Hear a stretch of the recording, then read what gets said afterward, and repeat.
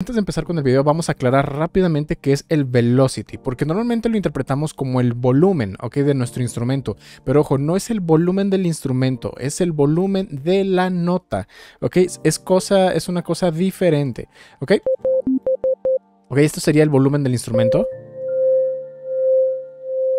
y este sería el volumen de la nota. Ya hay ciertas diferencias, sobre todo en los samplers, porque un sampler, por ejemplo, en lugar de generarte sonido sintetizado, está disparando una grabación, un sample. Entonces, dependiendo del velocity, puede disparar un sample u otro. Y esto es lo que nos va a dar un poquito de la idea de qué es lo que está pasando, porque el velocity le está diciendo a un parámetro cómo se debe de comportar, en este caso al volumen, y es por nota. Muy bien, entonces, dentro de FL Studio, todos los sintetizadores nativos ya vienen, digamos, de forma interna, cableados para que el velocity corresponda con el volumen. Para que esto funcione, tenemos que conocer en el sintetizador externo cómo se linkean o cómo se enlazan esos parámetros. Es decir, nosotros tenemos que decirle de alguna manera al sintetizador externo, porque esto ya no viene automáticamente, porque son cosas externas a FL Studio, queremos decirle, ok, para el velocity tienes que hacer esto, ok. Muy bien, entonces vamos a ver unos cuantos ejemplos con los sintetizadores externos, pero al menos ya saben qué es lo que deben de buscar.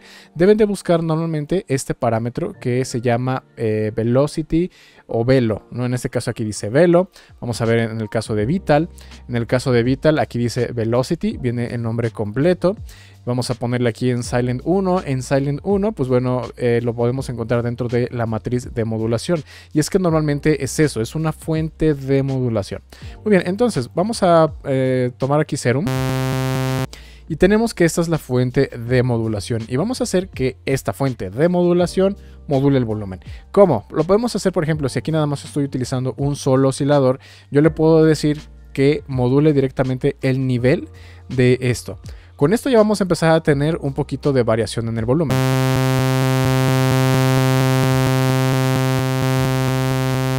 Pero notamos que no desaparece por completo. Eso es porque aquí no hemos colocado cuál queremos que sea el mínimo.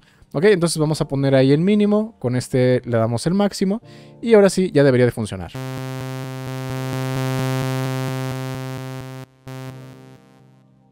Ok, ya está reaccionando al volumen porque para cada uno del velocity le está diciendo cómo se debe comportar esta perilla y esa perilla es el volumen. Antes de continuar, recuerda, si te está gustando el video, suscríbete y activa la campanita de notificaciones. Así no te perderás ninguno de los próximos videos y cursos. Además, te invito a visitar mi página oficial allbymusic.com donde puedes encontrar samples, presets, plantillas, cursos, mis servicios de mezcla, masterización, clases personales y mucho más. Muy bien, entonces con esto ya estamos controlando el volumen de un solo oscilador, pero obviamente si yo enciendo otro, este todavía no tiene modulación, así que no estaría funcionando. Entonces tendríamos que aplicar esta modulación para cada uno de lo, de todos los volúmenes que vayamos a, poner, ¿no? Por ejemplo, así o también el sub, o también el noise. O otra cosa que podrían hacer, tal vez, esto ya dependerá de ustedes, es que aquí, ¿no? Eh, en uno de estos, por ejemplo, pongan un filtro paso bajo y a lo mejor el filtro paso bajo sea el que esté manipulando el volumen. Pero bueno, sería de esta manera para Serum. Si quieres aprender a utilizar Serum, te voy a dejar el video por aquí arriba a la derecha donde hablo de todo el curso completito. Es para que sepas cómo utilizar el oscilador, los filtros, la matriz, el global, etcétera, ¿ok? Porque esto es simplemente algo por encimita para que eh, tengas la idea de cómo hacerlo en Serum. Pero vamos a ver cómo se hace en otros sintetizadores. Ahora tengo aquí Vital abierto y volvemos a lo mismo. Hay que buscar dónde está la fuente de modulación. La fuente de modulación está aquí. Vamos a utilizar la fuente de modulación de Velocity para modular el volumen. Colocamos un mínimo y un máximo. Y con esto ya...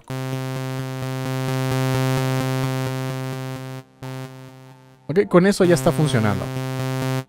Y si tienes otros osciladores encendidos, pues bueno, tendrías que hacer exactamente lo mismo para el nivel de cada uno de ellos. Así con el Velocity eh, ya puedes controlar el volumen de cada uno de los osciladores al mismo tiempo. Pero ojo, el Velocity no solamente sirve para el volumen, puedes utilizarlo para otras cosas. Por ejemplo, que mientras más alta sea el Velocity de una nota, tenga más desafinación en el unisono, por ejemplo. O con mientras más alta sea el volumen de la nota, el filtro esté más abierto.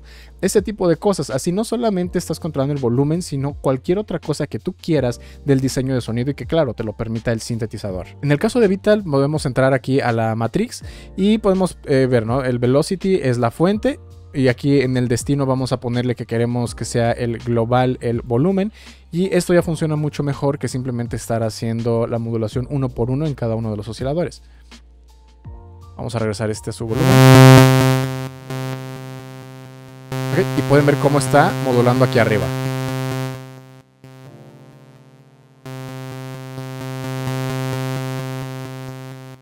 Por cierto, si quieren ver el curso de Vital, también está por aquí arriba a la derecha completito. Es un sintetizador gratuito, bastante poderoso. Como pueden ver en el curso se pueden hacer infinidad de sonidos y de hecho yo me atrevería a decir que me gusta un poquito más que Serum.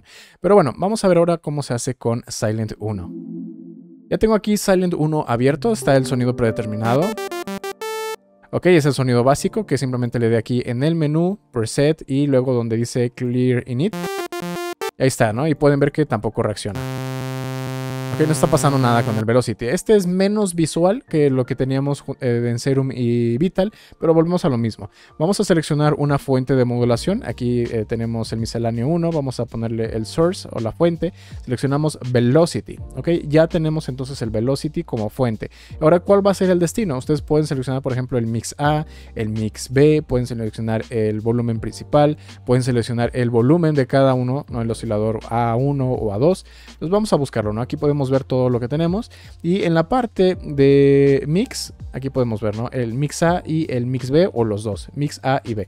Vamos a seleccionar este, suponiendo que tuviéramos las dos partes encendidas. Igual si quieres ver el curso de Silent 1, por aquí arriba a la derecha, todo lo que necesitas para aprender a utilizarlo. Muy bien, entonces le damos play y vamos a aplicar una cantidad de modulación con esto. Ahora, esta modulación se está aplicando sobre este nivel de volumen, entonces para que esto tenga efecto tendríamos que ponerlo en cero, ¿no? Para que este sea el mínimo y lo que pongamos acá sea ese máximo.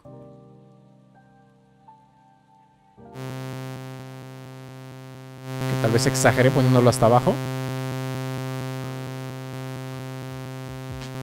Y bueno, de hecho no es el este porque es el volumen principal, más bien sería este, el mix A y el B.